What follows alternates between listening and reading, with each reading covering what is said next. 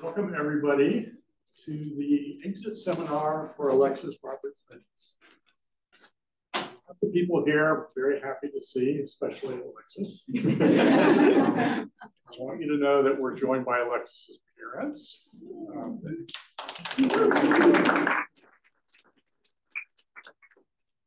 Alexus has one of the most supportive families I've ever seen in academia, quite honestly.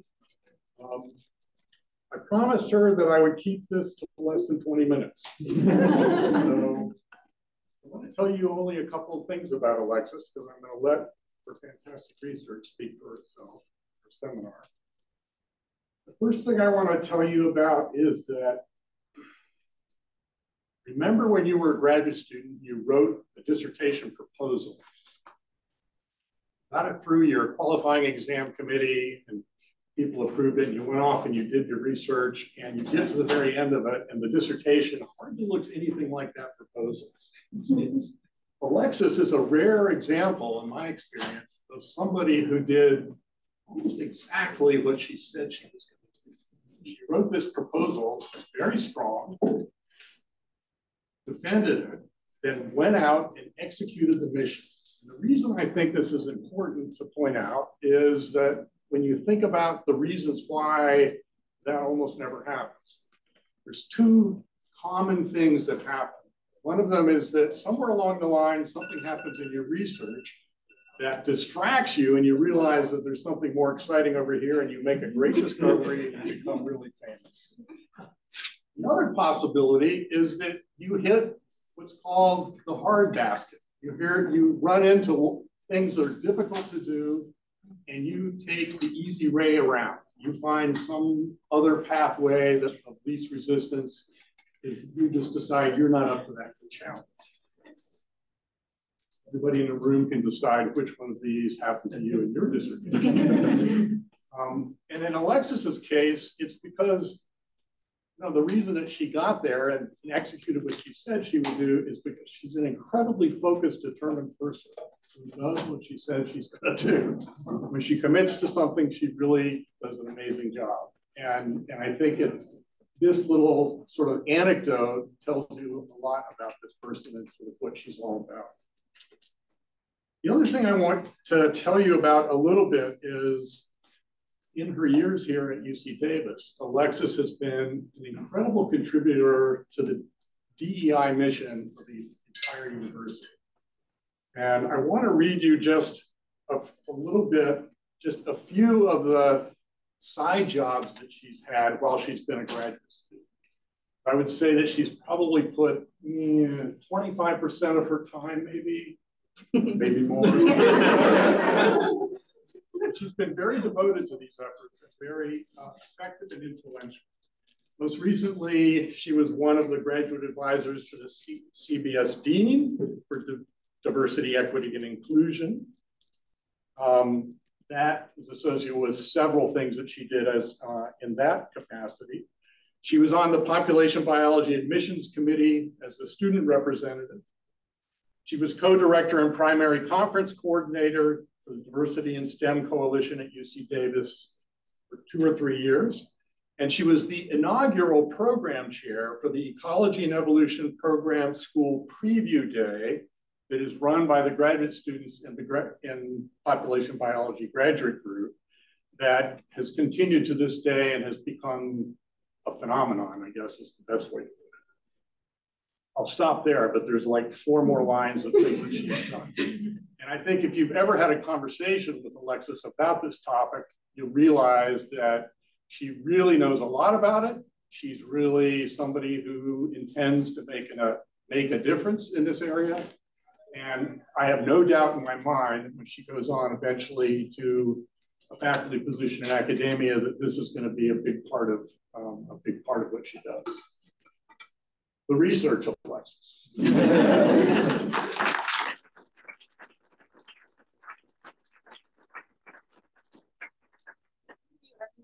I'm really excited to be here today. Thank you to Peter for that introduction. Um, I'm kicking off a nearly quarter long series of uh, QE seminars and exit seminars by our Pop Bio students. So again, my name is Alexus Roberts Hedges, and today we're going to start this series off by talking about fish. Mm-hmm. So fishes are super diverse and just incredibly beautiful organisms. You can see an assortment of fishes on this slide. They occupy a variety of freshwater and marine habitats. They have different body shapes, sizes, colors. There's different predator defenses and a bunch of other adaptations. And this list could go on and on. And researchers have been spending years just trying to disentangle how fishes have accumulated so much of this diversity. And in ray fin fishes specifically, which is a group that accounts for over 50% of living vertebrate species, uh, people often point to functional innovations. And a functional innovation is a trait that enables novel interactions with the environment and other organisms, and it prompts further success within the lineage that it evolved in. Some examples of these traits include things like fin spines, uh, which can double the size of an organism and reduce its number of potential predators, like we see in this butterfly fish. You have things like air breathing, which I'm, I'm highlighting this gunnel here. Uh, it allows fishes like this gunnel to live in intertidal zones. Uh, or you can think about things like endothermy and antifreeze proteins that allows fishes to live in cold water or polar regions. And all of these traits have been game changers, but one of the things that I want you to notice is that half of these traits that are on this slide that have been identified are actually morphological traits. And further, three of those four are actually found within the mouth. So there's a potential there to impact uh, fish feeding strategies. Uh, to really understand what fishes are doing when they feed and how these traits can affect these mechanisms, we got to talk about fish feeding strategies and fishes. Or, yeah, fish feeding strategies. so there's a lot of variety in these mechanisms, uh, but a majority of fishes use suction feeding to capture their prey. And this process involves a rapid opening of the oral jaws and an expansion of the mouth cavity that creates a negative pressure gradient that sucks in water, and the prey item. One of the coolest examples of this process can be seen in a sling jaw wrasse, where we start in this closed mouth position up at the top, and we go all the way to that full expansion down in this last picture. And this is a process that happens in under a second in this fish. In a high-speed video format, which allows us to look at this process slowed down, this is just striking. The strike is striking. it's such a rapid and highly coordinated motion. Uh, and I should note that suction feeding doesn't look this cool in all fishes. I will show you more throughout the talk, but right now I just want you to imagine that you're this tiny little gray fish that is being captured by that suction feeding process. You may have thought that that scary part was over, but it turns out that fishes have a second set of jaws uh, called pharyngeal jaws. And so if you're that little silver fish, you're looking straight down the mouth of that sling jaw wrasse, you're gonna see upper and lower jaws back behind the mouth cavity. I have them highlighted here in blue. So once that little prey item is captured, the pharyngeal jaws work to crush, tear, break down, transport prey items for further digestion. So the development of the second jaw system really spurred diversification in fishes because it allows the oral and the pharyngeal jaws to be functionally independent. So you have the oral jaws that are doing that prey capture process, and then you have the pharyngeal jaws that are doing prey processing. And this strategy is generally conserved across suction feeding fishes. Uh, but as I mentioned before, morphological innovations within the mouth have the potential to dramatically change not only functional, but the evolutionary dynamics within the feeding system as a whole. So this is the intersection that my research lies at. In that grand scheme of understanding uh, fish diversity, I combine morphology, kinematics, and phylogenetic comparative methods to understand how morphological innovations impact diversification within the feeding system. I'm specifically interested in a couple aspects of diversification, including disparity or the amount of variation in morphological and functional traits across species, uh, rates of evolution or the amount of change in those traits over time, and then the co-evolution of traits or sets of traits. So today, I'll be focusing on just some of my work that explores the impact of a pharyngeal jaw innovation on these aspects of diversity. Okay, so what is that pharyngeal jaw innovation? We talked a little bit already about this two jaw system where the oral jaws highlighted in black are doing that prey capturing and the pharyngeal jaws highlighted in gold are doing that prey processing. And focusing on the pharyngeal jaws a bit more, this jaw unit is derived from gill arch elements and it includes paired upper jaw and lower jaw elements that you can see in this anterior medial view. And both of the upper and the lower jaws are actually toothed. And again, they're located behind that mouth cavity. So this is a pretty generic pharyngeal jaw structure that we find throughout ray fishes. Uh, but there are at least six families that actually evolved a modified or independently evolved a modified pharyngeal jaw. And this configuration is termed pharyngognathy, but for the sake of this talk, I'm gonna say modified pharyngeal jaw or MPJ. and so these modifications include a fusion of that lower jaw bone so that you have one robust structure you have a muscular sling that attaches on either side of that lower pharyngeal jaw, and it actually suspends it from the neurocranium that enables greater crushing and grinding forces. And then finally, on the backside of these upper pharyngeal jaws, there's a joint between the base of the neurocranium and the top of those upper pharyngeal jaw components that allows for more mobility. So overall, the MPJ is considered a functional innovation because these changes allow uh, predators to process harder, tougher, chewier prey items.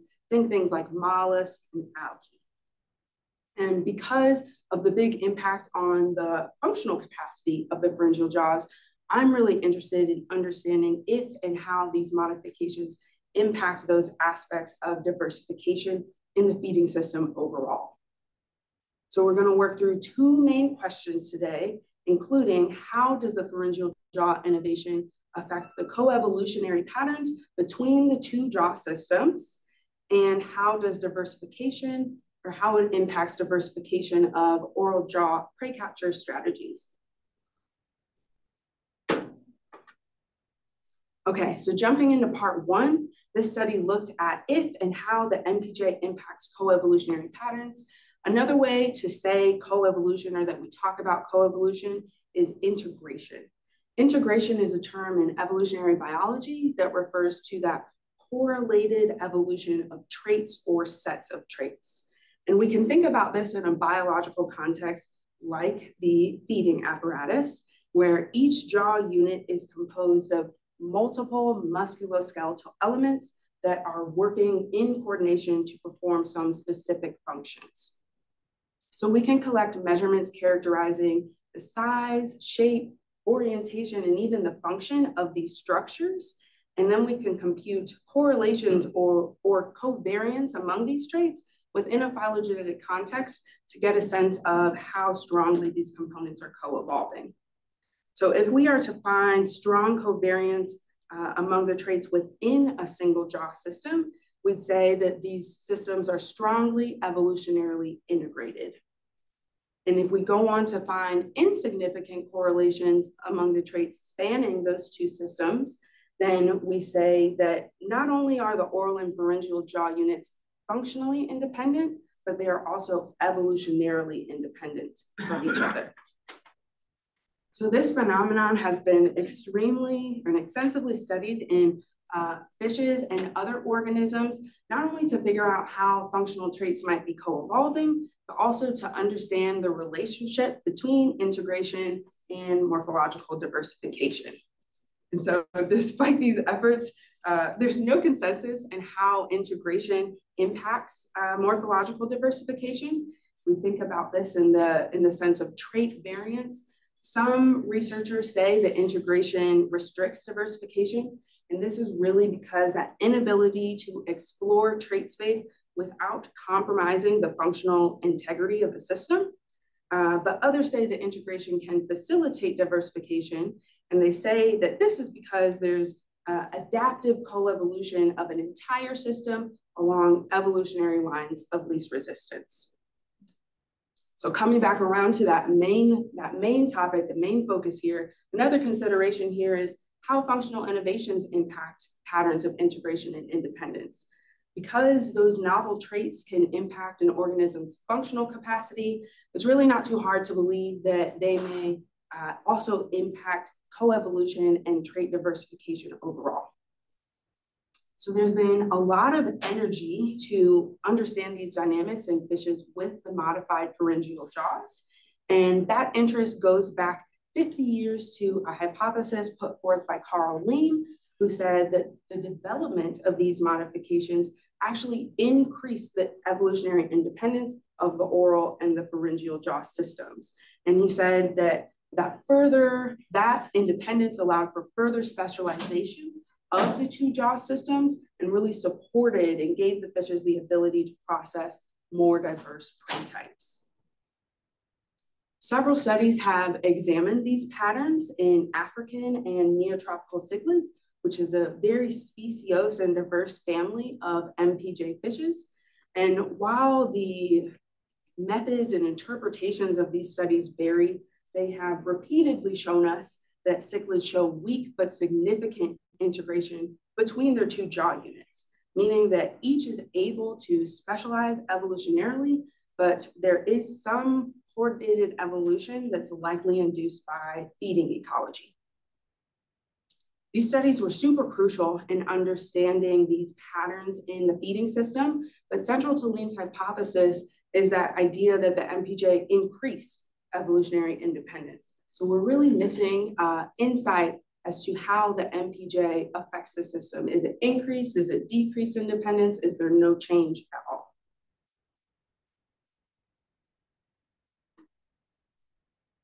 Okay, so to dig into this, I continued this trend of looking at cichlids, specifically neotropical cichlids as representatives of MPJ fishes, um, and I compared their evolutionary patterns to those seen in centrarchids or North American sunfishes, another diverse and really well studied group of fishes that do not have that modified pharyngeal jaw.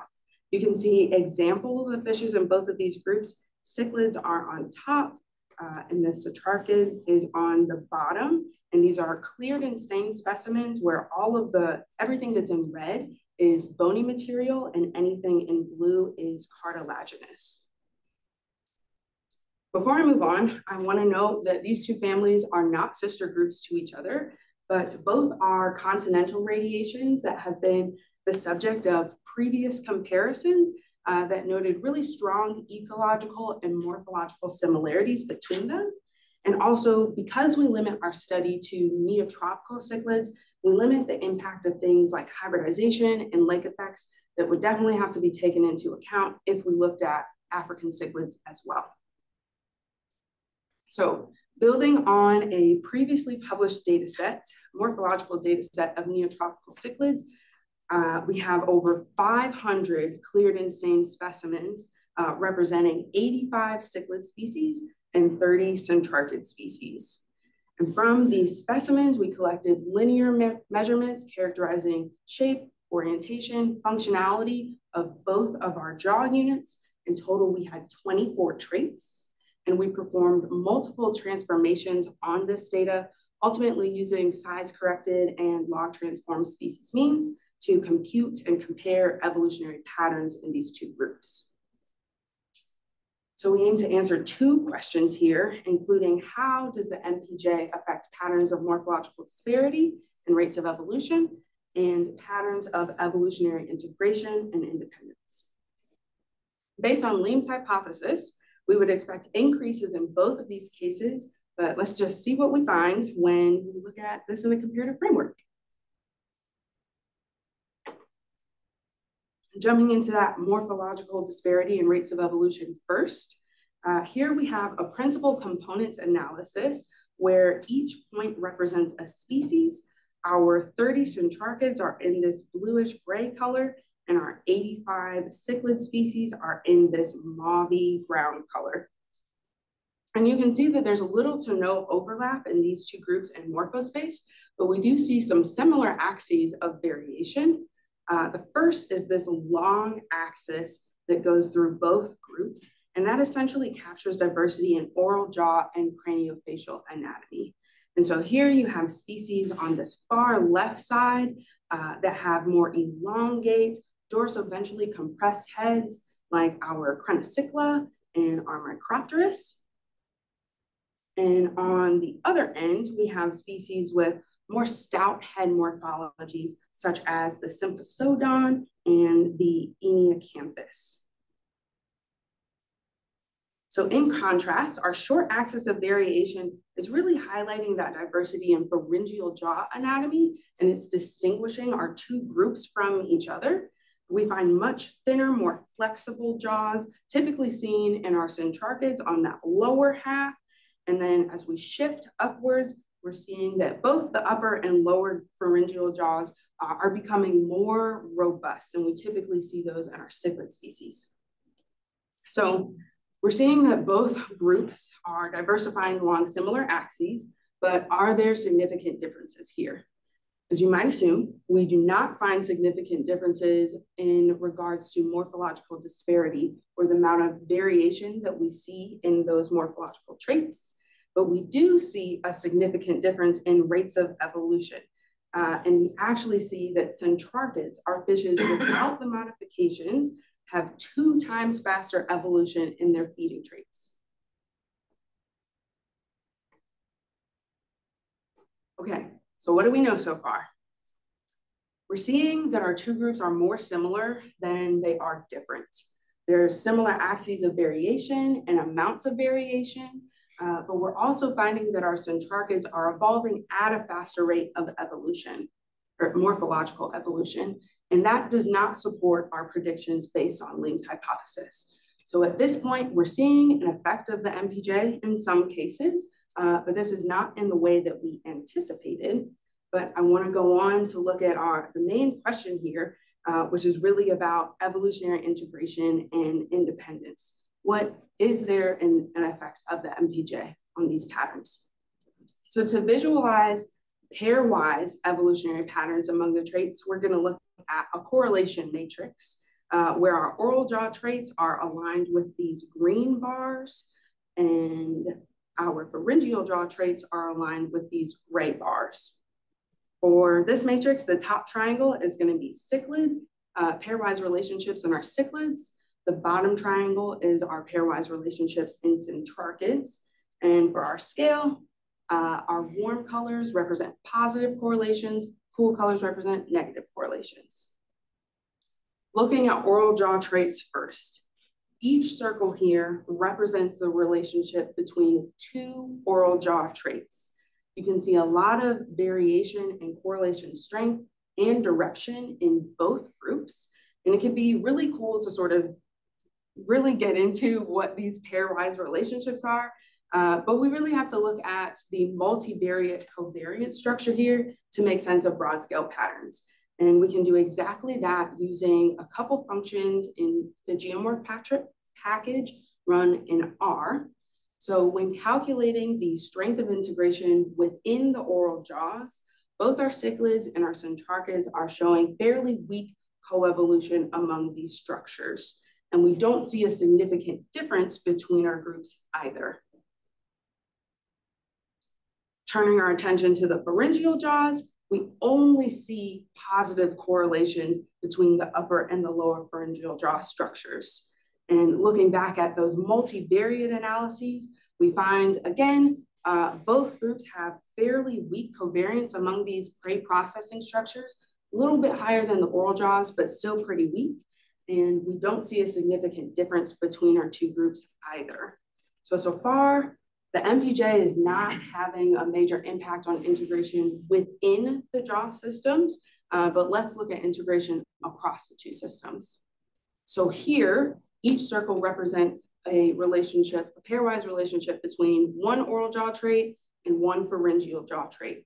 There's some variation in strength in both of our groups, but neither, fam neither family is uh, showing really strong relationships. We're not seeing those deep reds or those deep blues. And looking at the multivariate covariant structure once more, unlike any of our other integration patterns, uh, when you look at integration between the two jaw systems, we are seeing a significant difference between our two groups. And comparing the results from a two block partial least squares analysis, there's not only a significant difference between the two groups, but we're actually seeing that cichlids, our MPJ fishes, are showing stronger coevolution between the oral and the pharyngeal jaws. So to answer that second question, the MPJ is affecting evolutionary independence of the feeding system as a whole, but we're actually seeing the opposite, the exact opposite of what we predicted. Instead of that greater independence in the presence of that modified pharyngeal jaw, we see greater integration of our oral and our pharyngeal jaw structures.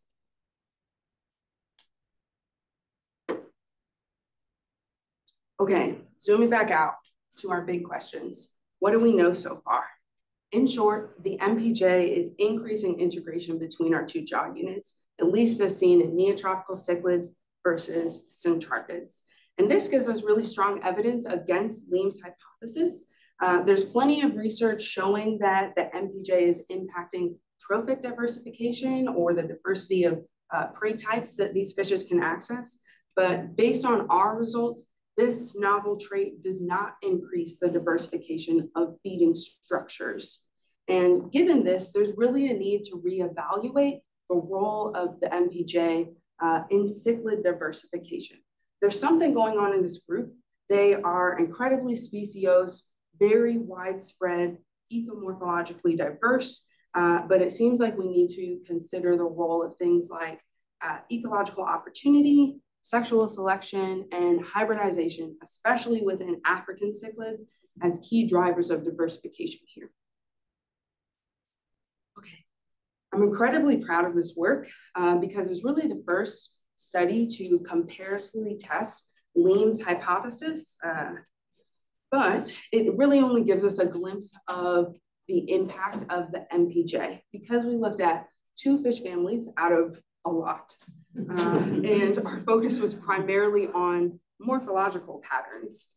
And so to get a more comprehensive understanding of the impact of this trait, uh, I went on to look at how the MPJ affects diversification of prey capture strategies, specifically oral jaw morphologies and motions during feeding. So just to review a couple of things really quick.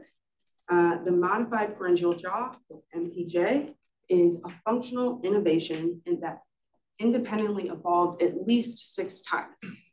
And because we have this, this trait that is resulting in a more robust pharyngeal jaw structure, uh, the fishes that have this MPJ are actually so, showing transitions, more transitions to feeding on hard or tough prey items. So another way to think about our question is do MPJ fishes show increased diversification of prey capture strategies to really support that consumption of diverse prey types? If the trait spurs diversification, uh, within the oral jaws, we would expect to find more disparity and higher rates of evolution within our morphologies and feeding motions in the oral jaws. So to do this work, I expanded beyond the cichlid and centrarchid paradigm and looked at diversification patterns in fishes with and without the MPJ across a radiation of spiny rayed fishes called Acanthomorpha. So building on morphometric data sets uh, describing feeding motions in cichlids and reef fishes, uh, I went into our lab's massive collection of high-speed videos that uh, capture suction feeding strikes in a really diverse group of fishes, and we collected morphometric data from select feeding videos. Uh, in total, this data set includes 689 strikes, so 689 individual videos representing 228 species. We had 133 uh, MPJ fishes from four families where all of the fishes exhibit this modified pharyngeal jaw uh, and 95 species spanning 39 non-MPJ families. So in total, this is one of the largest uh, comparative kinematic data sets of fish feeding to ever be produced. And I'm really excited to look at these patterns in such a broad comparative framework. Let's get into what these videos look like. So you're gonna see in just a moment an example of one of these high-speed videos where we capture a high effort suction feeding strike at 2000 frames per second. And as I mentioned earlier, this is a process where the oral jaws and the mouth cavity are expanding. They're opening super rapidly and in a coordinated manner to suck in this little prey item. Let's take a look.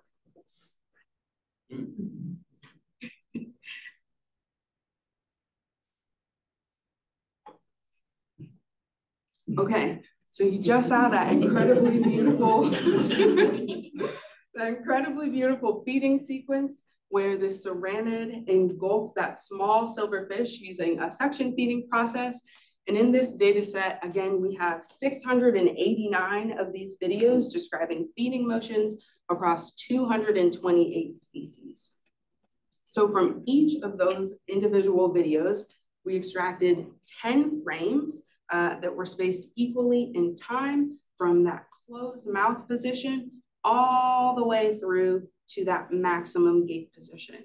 And so when we when we split up the feeding sequences like this, you can really see a cool, interesting incremental change from the start to the end of that feeding strike. Once we had those 10 frames from a single video, we use landmark morphometrics to track the movements of different anatomical components uh, as the mouth and head change shape during feeding.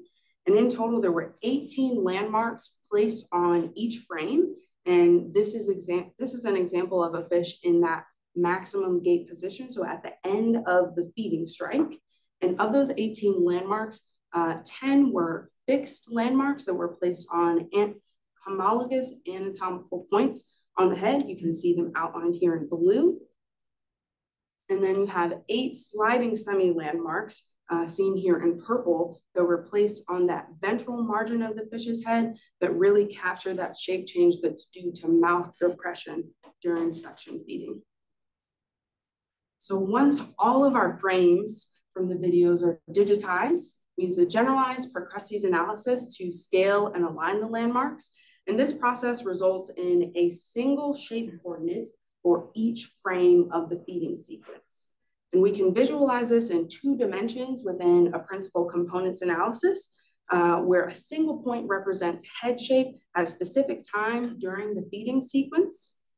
And when all of the shape coordinates are plotted from each of the 10 sequences, we can model up each of the 10 frames, sorry, we can model a feeding strike as a feeding trajectory that describes the shape change from that closed mouth position up top to that maximum gape position down below.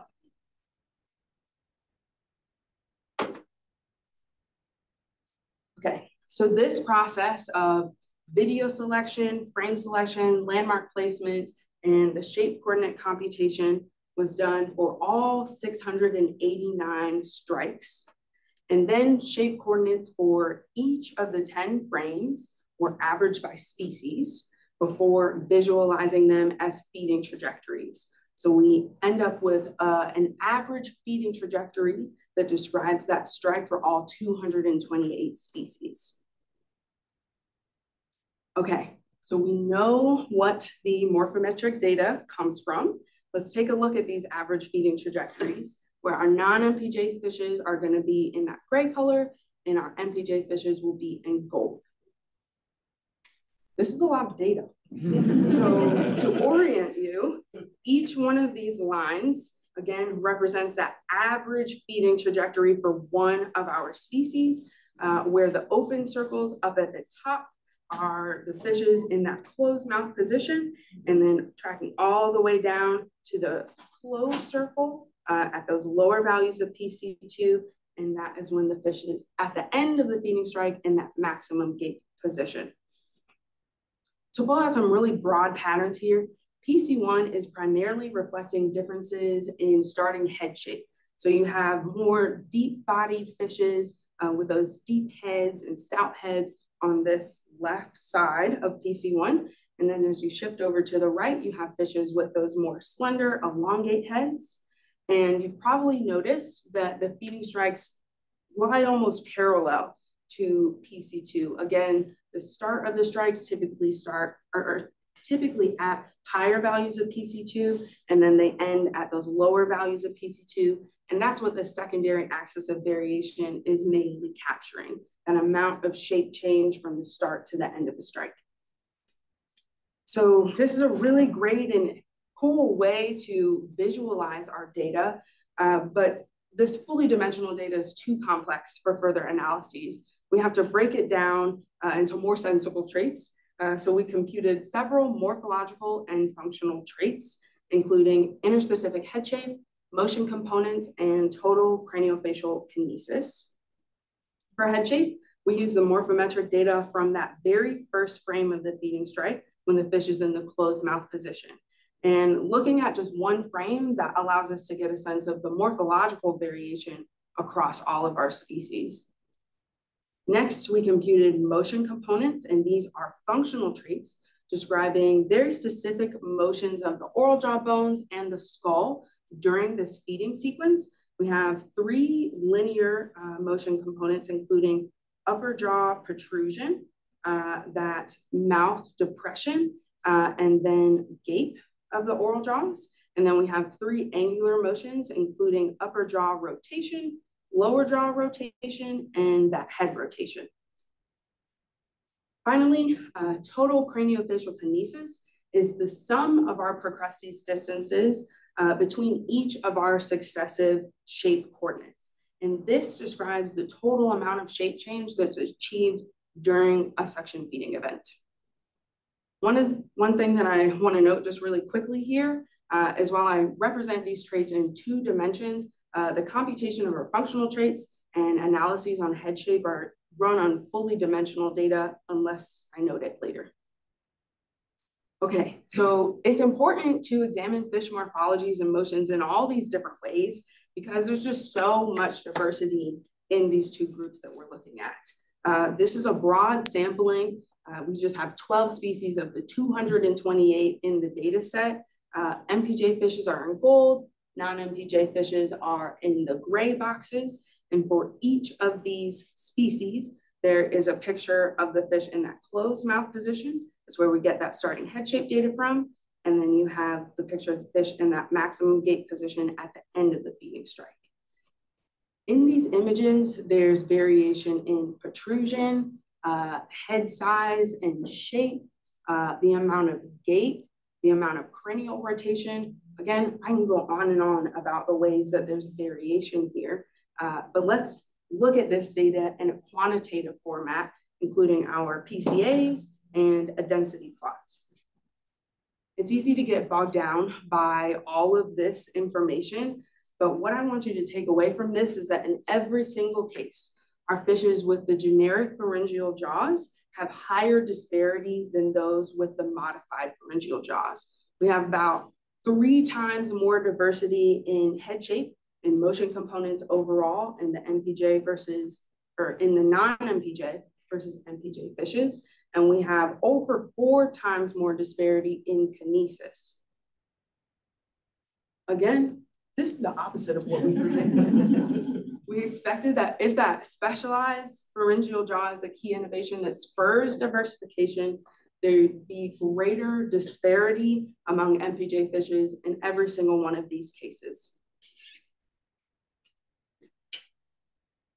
Okay, going back to our question, so although the MPJ is allowing fishes to access more diverse prey types, there's less disparity in oral jaw morphologies and motions. Our next step though is to account for time. Uh, since non-MPJ fishes are older, they could have just accumulated all of this diversity uh, over the long history of the group. So to look at rate patterns, I estimated rates of state-dependent evolution using the MuSSCRat model in RevBayes. Uh, and this model allows us to determine if a discrete character, in this case, the modified pharyngeal jaw, presence or absence of this modification, uh, significantly impacts continuous character evolution. And unlike other rate models, uh, MuSSCRat accounts for background rate variation or rate variation that's due to factors other than our discrete trait. So we can really get an idea of, or we can really see the true impact of the modified pharyngeal jaw on rates of evolution. Uh, we looked at looked for evidence of state-dependent evolution in by running three separate MuSSCRat models on head shape uh, using PC data, uh, all six motion components, and kinesis. Interestingly, we only find evidence for state-dependent evolution regarding total craniofacial kinesis. And despite having more time to accumulate diversity, our MPJ fishes, non-MPJ fishes, are showing two times more or two times faster evolution in kinesis. So revisiting our question one more time, we see that the MPJ fishes uh, show less disparity in these traits. And we are also seeing that they have slower rates of evolution regarding that total amount of shape change during a feeding strike.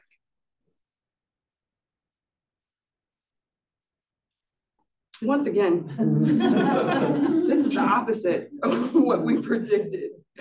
And now we just, having looked at these evolutionary patterns in feeding motions and morphologies across a really broad sample of fishes, there's a surprising story that is emerging here. I'm still of the mindset that the MPJ is a functional innovation because we have that increase in the diversity of consumable prey types. Uh, but it's clear that this trait is also constraining diversification in some ways within the feeding system. So I think naturally the next question that we have to ask is why? Why is there more restricted evolution in form and function despite uh, the ability to access more diverse prey types? The first thing that we have to consider is functional trade-offs. Novel phenotypes that impact performance uh, are subject to trade-offs. And in this case, the modification, the modifications to the prey processing system are allowing that expansion into durophagy and various forms of herbivory. Uh, but this comes with a restricted pharyngeal gape, uh, and that reduces the frequency of piscivory uh, on or feeding on other fishes. Break that down a little bit.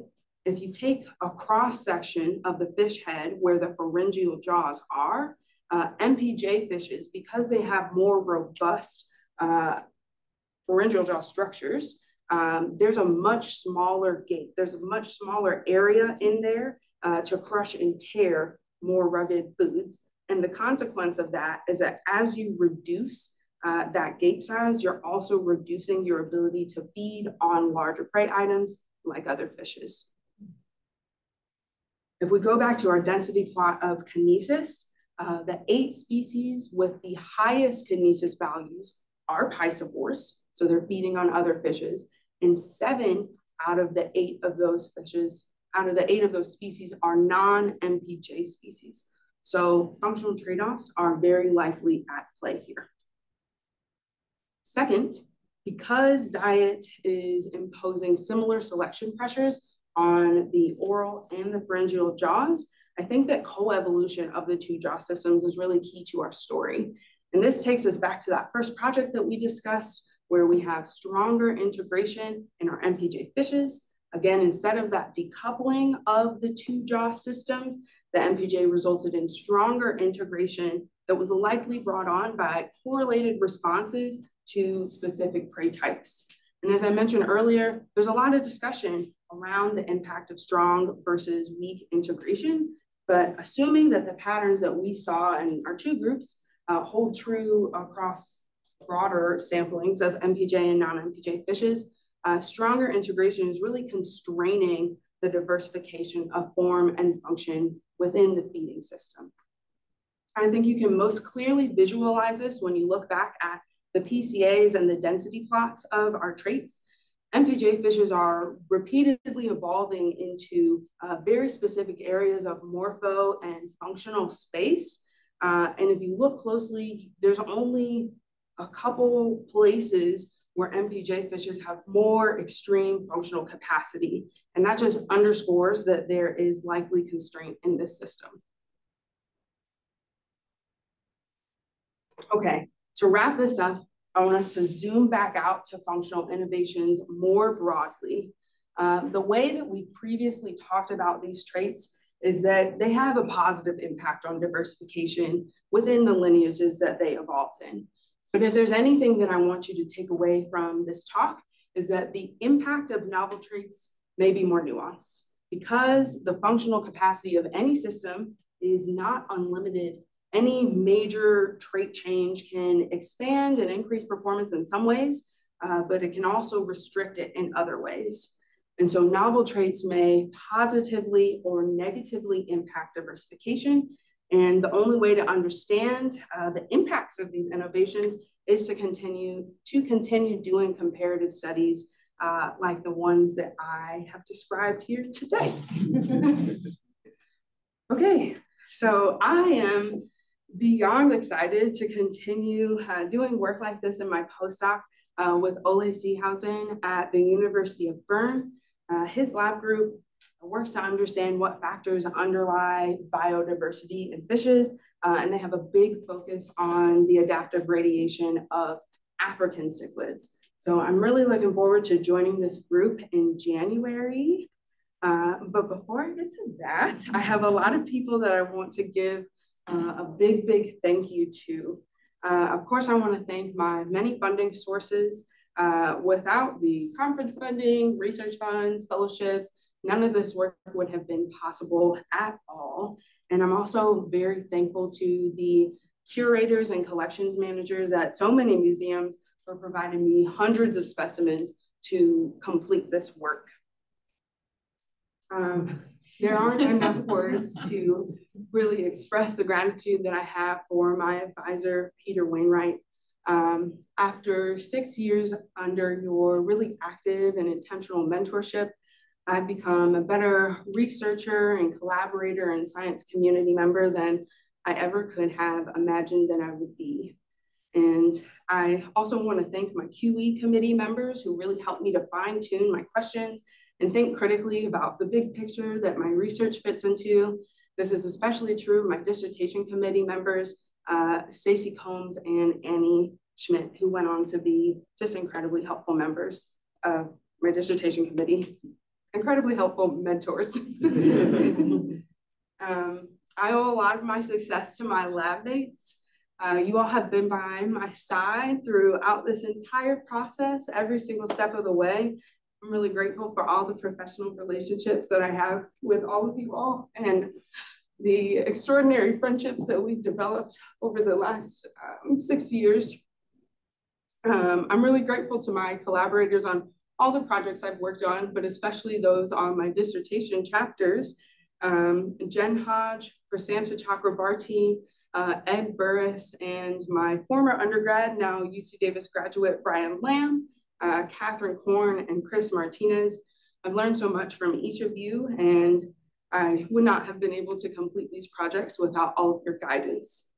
Uh, I'm super grateful to be able to have uh, gone through this whole process and learned alongside um, my amazing cohort mates. This is a really wonderful group of people, and I'm so excited to see what each of us does in the coming years. Uh, more broadly, it's been a real privilege to be a part of PopBio, UC Davis, and Friday Harbor Lab communities. Uh, the folks in, in these communities really create such a safe space and uh, supportive space to grow and learn in. Uh, and I want to give a shout out, they're not pictured here, but the EVE administrative staff and the custodial team who take care of so much behind the scenes that really allows us to do what we want to do, the research and all the other stuff. So in addition to my research, what Peter mentioned earlier, I had the extraordinary opportunity to found and facilitate several DEI programs and uh, initiatives over the past six years. Uh, these programs have given me such a positive outlook or outlet and really shaped who I am as a DEI practitioner. Um, I'm especially grateful to Hannah Iguera, uh, Elena Sulia, and Carmen Banks for their dedication, their partnership with me, and, and just leading several of these programs. Uh, I had the support of so many friends and yeah, friends near and far. Uh, we had a lot of game nights, adventures, uh, Midtown church group meetups, wedding reunion, a lot of weddings, um, potlucks, phone calls, all of it has just carried me through the last six years. Um, and of course, I would not be where I am or who I am today without my family. You all have lifted me up in prayer and encouraged me and celebrated me.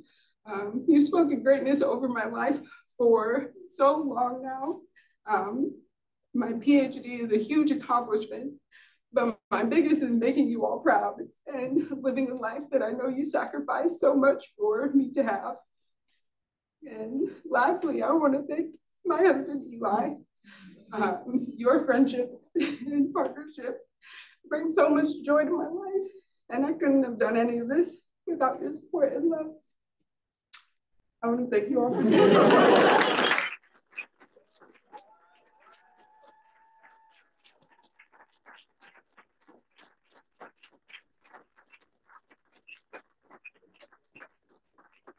Bravo. Great job, Alexus. We love you.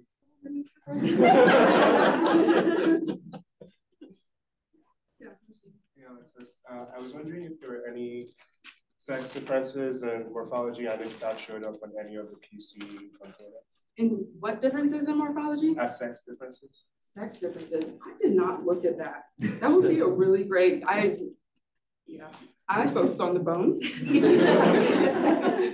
I did not look at that, but that would definitely be something um, to think about in these studies. Most of my focus went into making sure that I was using adult specimens uh, because there can be a lot of differences as fishes grow, so over ontogeny. Uh, so that's where my focus was.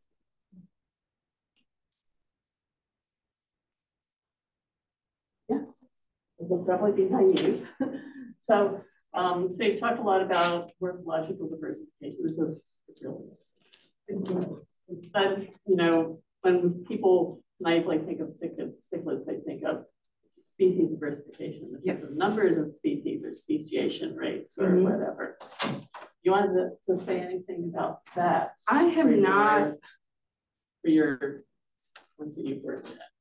I have not looked at species diversification. That would be something that Nick is doing. Yes. tune in, tune in next quarter. Um, yeah, I've mostly focused on the morphology and the functions There's within these. Yes, there are a lot of people that look at species diversification though. Um, I don't know if they have connected the MPJ to that specifically.